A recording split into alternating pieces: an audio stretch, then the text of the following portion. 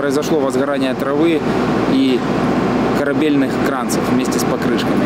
Общая площадь возгорания травы составила 1 гектар, площадь возгорания корабельных кранцев и покрышек составила 300 метров квадратных.